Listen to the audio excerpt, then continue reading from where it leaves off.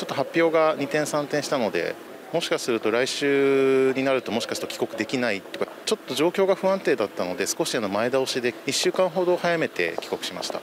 えーと、6日が、えーと、一歩も出れない国の指定の隔離で、うん、あとの8日は自主的に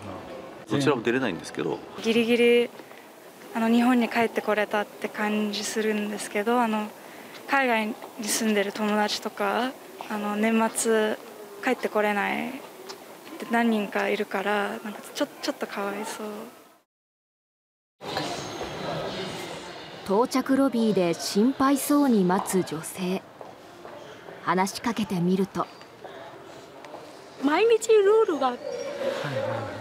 変わっちゃったから早めに来てもう大丈夫と思って。女性は日本に住むミャンマー人夫が来日するので迎えに来たところ到着しているものの入国できず途方に暮れていました。今は外待ってるしかないじゃない？今日が一日中にいるだから私がどうすればいいですか？2年前に結婚した2人。日本と韓国でそれぞれ仕事を持ち別々に暮らしていました。日本のコロナ感染が落ち着く中一緒に暮らすため夫は家族滞在ビザを取り韓国での仕事も辞めこの日成田に到着。しかし今回の外国人新規入国禁止措置で入国は認められませんでした。家族ビザから大丈夫だ。旦那さん前が外帰ったらチケットだから行けるかなと思って女性は大使館に連絡しますが。特別にミャンマーから来る人じゃないから、はいはい、韓国から行ってる人だからちょっと情報がわからない。待つこと数時間。空港内にいる夫とようやく電話がつながりました。旦那さんからた。マウセンピーラ。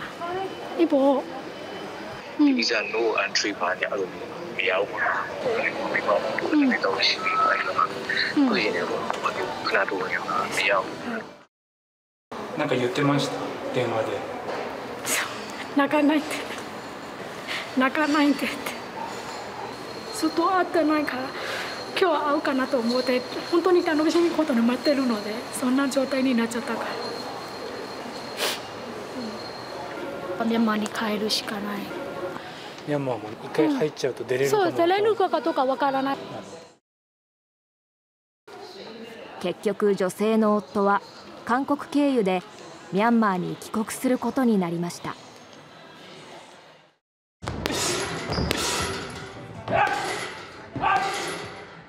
外国人の新規入国禁止措置でボクシング界にも影響が。16日の試合に向け最終調整するのは力石正則選手。うわマジかっていう気持ちが結構強かったですね。対戦相手が来日できず試合の開催が危ぶまれています。あこんにちは。主催者で元世界チャンピオンの亀田兄弟は。で、ね、やっぱり何かやらないともう来れないからじゃあ終わりじゃなくてそこで何をするかじゃないですか。ここは絶対引いたらあかんと思って、うん、やるしかないと。本当に選手は上がれなかったらやっぱ腐っていくんで、うん、やっぱずっと強いわけじゃないんでね、うん、だからやっぱりその舞台はねやっぱ用意してあげたいなという。今年ジムを立ち上げた亀田兄弟でしたがコロナに振り回され続けてきましたほんまに強いですねコロナ。なかなか今いいパンチガーンもらった。目の前ねどつき回しますけどねほんまね。